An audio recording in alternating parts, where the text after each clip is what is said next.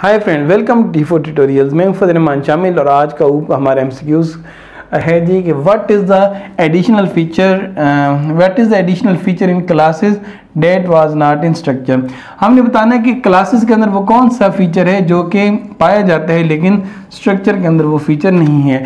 तो ऑप्शन है हमारे पास data member member function static data और इसके अलावा पब्लिक एक्सेस स्पेसिफायर तो हमारे पास जो करेक्ट आंसर है, वो है बी मेंबर फ़ंक्शन क्यों? क्योंकि यहाँ पर अगर आप इस एग्जांपल में देखें, इस एग्जांपल में जैसे कि आप देख सकते हैं कि हमने एक स्ट्रक्चर बनाया है स्टूडेंट नाम का, और इसके अंदर हमने एरे भी रख दिए हैं, और इसके अंदर हमने वेरिएबल्स भी रख दिए हैं।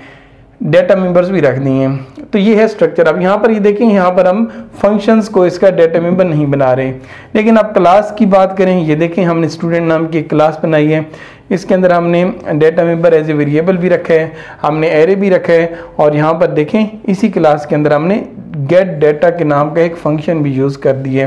तो ये वो फीचर है जो कि इन दोनों को थोड़ा सा आप कह लें कि क्लासेस के अंदर एडिशनल फीचर है कि क्लासेस के अंदर आप मेंबर फ़ंक्शंस भी यूज़ कर सकते हैं और स्ट्रक्चर के अंदर हम मेंबर फ़ंक्शंस को यूज़ नहीं करते। तो करेक्ट आंसर होगा जी मेंबर फ़ंक्शंस